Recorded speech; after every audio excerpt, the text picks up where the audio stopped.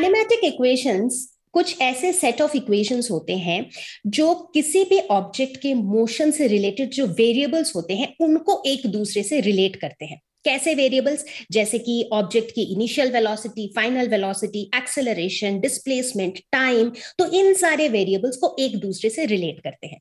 अब जब हम बात करते हैं ब्रेकिंग फोर्स की, यानी कि हम एक ऐसे फोर्स की बात करने की कोशिश कर रहे हैं जिससे मेरा ऑब्जेक्ट या मेरा व्हीकल या मेरा कार स्टॉप हो जाए। स्टॉप हो जाए मतलब उसकी फाइनल वेलोसिटी ज़ीरो हो जाए, यानी कि वी ज़ीरो हो जाए। एट द सेम टाइम हम इस ब्रेकिंग फोर्स का रिलेशनशिप जानना चाहते हैं with respect to the initial speed या इनिशियल वेलोसिटी यू राइट तो ऐसे केस में हम यूज़ करेंगे काइनेमैटिक थर्ड इक्वेशन जो कहता है v square is equal to u square plus two a s